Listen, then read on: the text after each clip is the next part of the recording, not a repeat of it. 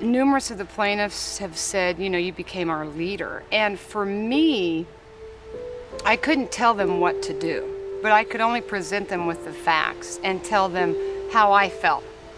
And if anybody ever had the audacity to walk into my home and tell me knowingly they had poisoned the water, that there's nothing wrong, it won't hurt your children. Yet I've gone around for years thinking I'm crazy. Why are my kids sick? Why has God done this to me? And to think that all along they've known that, and to trick me and deceive me, and for me to walk away, forget it. You can forget it. And I told these people, I can't make you be a part of this lawsuit. That's not my job.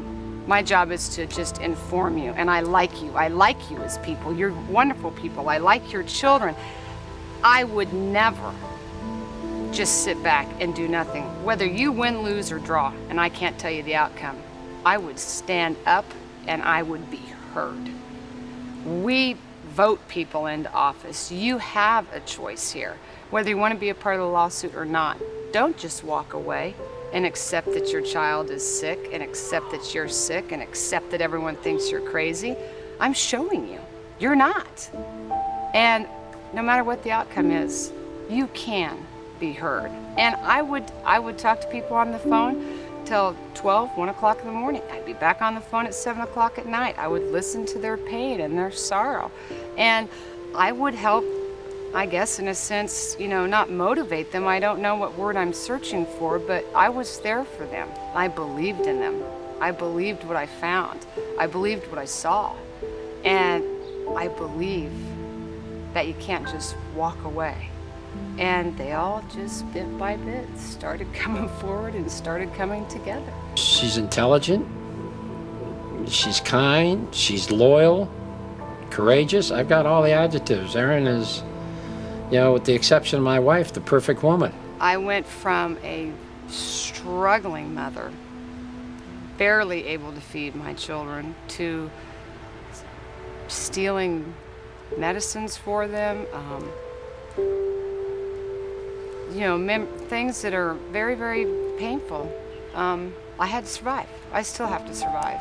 To getting to know these people in Hinckley, and I, I adore them. They want to cause nobody any harm.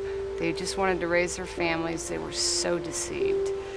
To see their lives change, to see Mr. Masry believing in me, to my having self-esteem and self-worth again, and the law firms that got involved and the money that was put forward and the experts brought in and to see it sell, I mean, it was, it's chilling. And to see their faces and um, what they'd been through, it was a wonderful experience for us and it changed their lives. And